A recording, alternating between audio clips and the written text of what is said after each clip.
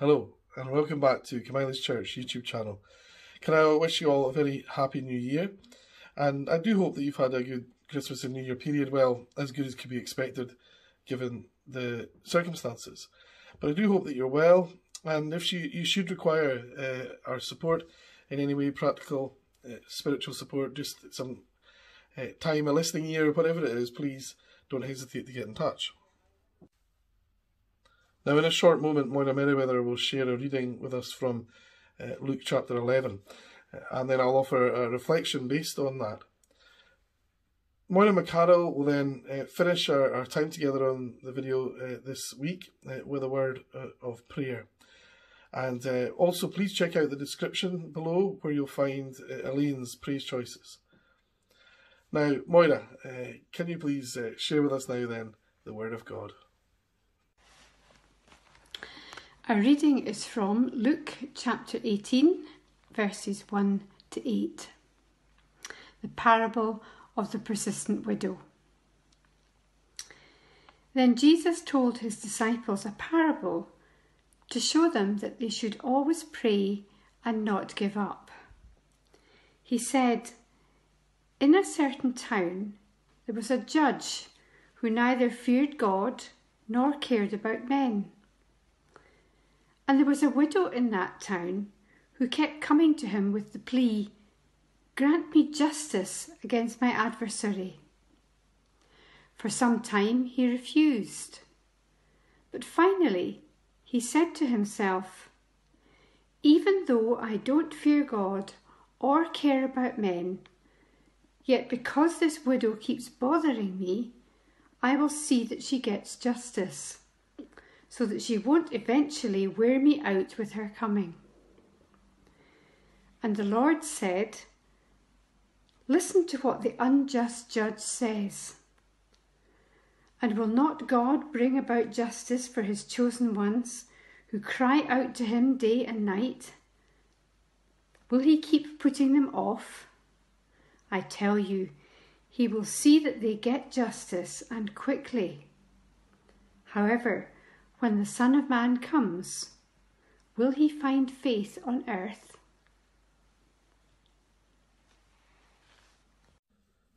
The great evangelist D.L. Moody uh, tells of uh, an encounter he had after one of his meetings. He was approached by a man who told him the following story. The man had been eager to sign up and join the United States Army uh, in its uh, conflict at that time with Mexico.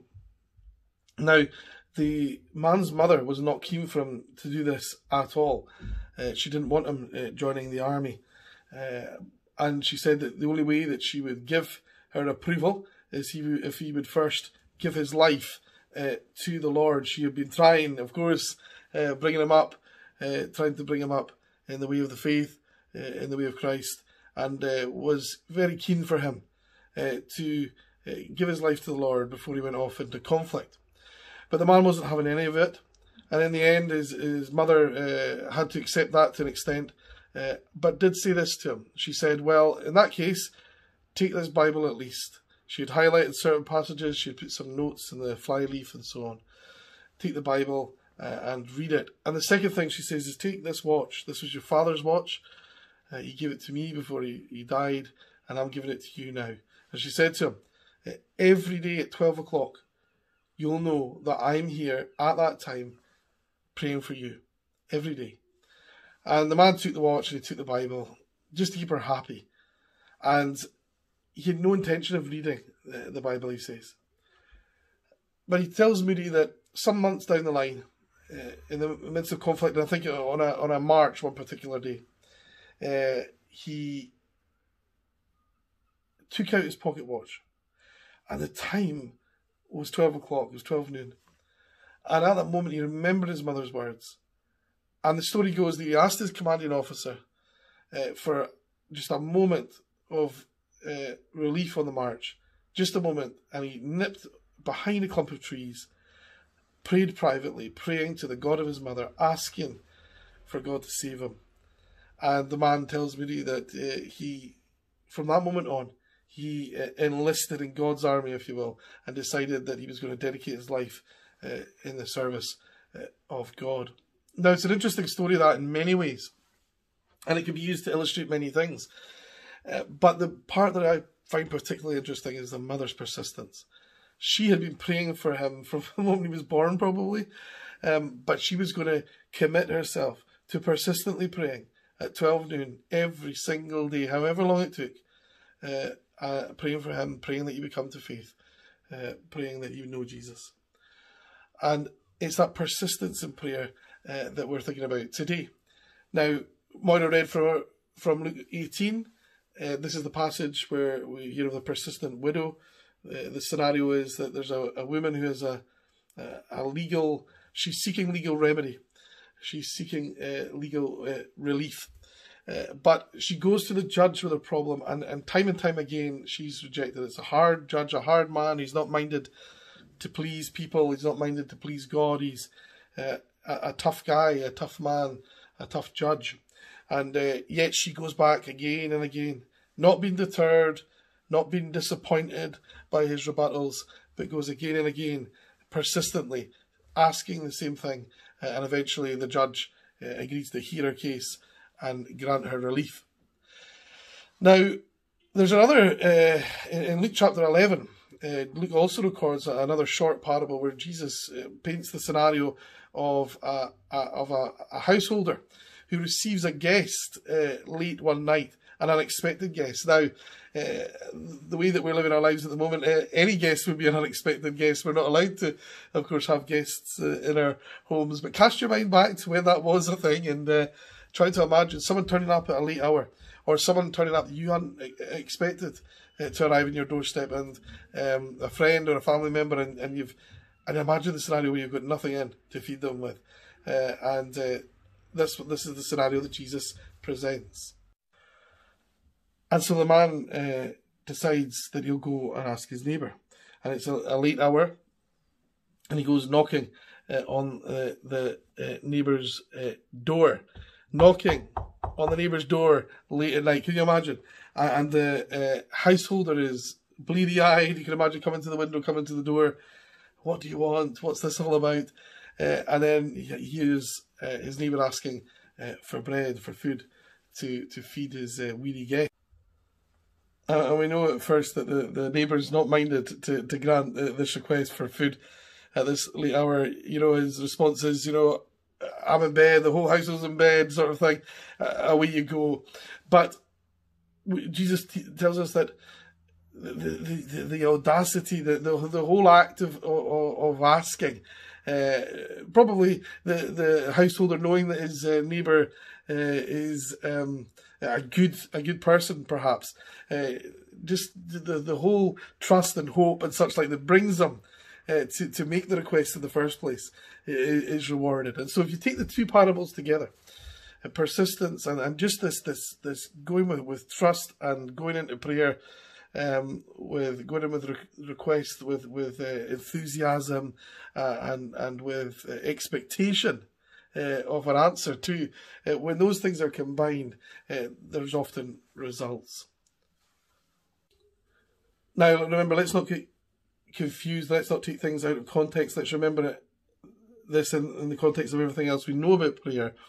What Jesus is not teaching is that if you ask for long enough, you'll get you'll always get what you want, even if that's frivolous or it's not within the will of God. Well, of course, that's not what Jesus is teaching. Jesus is teaching that uh, if you're persistent uh, in in prayer uh, uh, and you're prepared to to trust God and, and to go asking uh, for God, knowing that He will, knowing that He's merciful, knowing that He's loving, uh, knowing that he's much more uh, minded to hear us than a tough judge or, or a bothered neighbour. Uh, if you go again persistently asking, uh, then your prayer will be heard and there will be a response uh, to your prayer. it'll not go unanswered. And of course, the answer, depending on what the prayer is, the answer might not be necessarily what you want it to be or what you expect it to be. Um, but you will uh, have the ear of Almighty God. You will have uh, uh, the the ear of uh, God the Father uh, through through prayer. And, and, if you're persistent in prayer, and it is God's will that your prayer request um, come to pass and be granted, then surely there will be a reward to your to your persistence. And so, what a wonderful lesson that is, and isn't it eh, great to know that? And we're also told in the scriptures that we're we're not eh, left eh, alone in this. this is a hard road to choose to to stick with with persistent prayer, to to be faithful in prayer is not an easy option. It's you know it's so easy to to choose the path of, of least resistance, uh, to to just give up and, and give in and just assume that everything's out with our control and everything's out with God's control, perhaps. That's the easy road to take. The hard road is to be persistent in prayer and keep on trusting and keep the faith, as harkening back to last week and what we were talking about then. And so, persistent prayer is the lesson uh, for today. But you don't uh, walk that road alone. It's tough, it's hard, but the Holy Spirit helps us. Uh, Holy Spirit helps us to find the words. The Holy Spirit helps us uh, in discerning what God's will is. Uh, the Holy Spirit helps us uh, in, in persisting and persevering in, in prayer.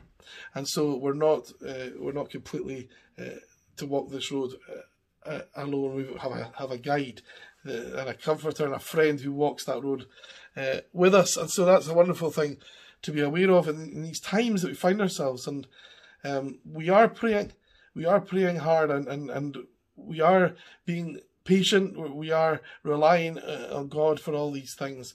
Um, but it's tough. It is tough as the months go on. And I'm not just referring, of course, to the pandemic, but everything else that's happening uh, in society at the moment and all these changes that's taking place and uh, how that affects our individual lives. So we go to God with prayers for ourselves, for our families, and prayers for our church, prayers for uh, for our nation and for the world.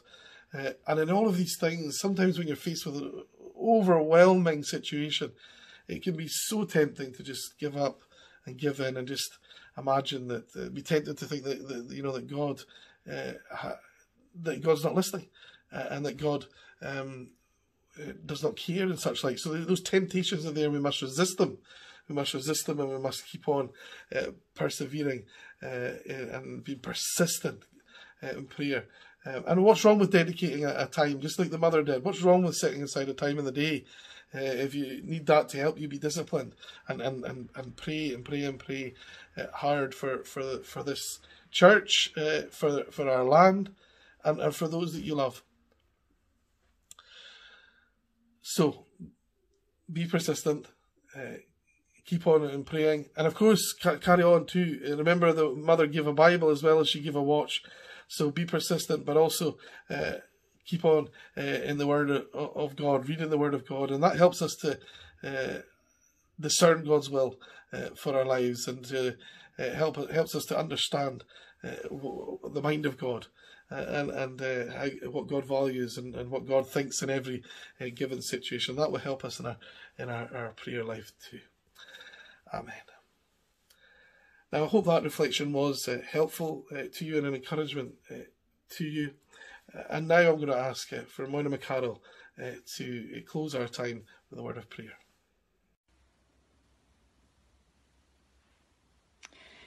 Well, thanks for that, Scott.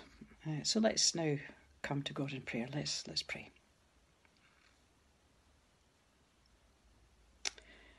Father, we thank you for your word to us this morning. Thank you for what Scott has has spoken to us about. Thank you for the encouragement of your word. And Lord, as we come to you at the beginning of this new year, we we look back with gratitude, with gratitude for the way in which you have upheld us and sustained us.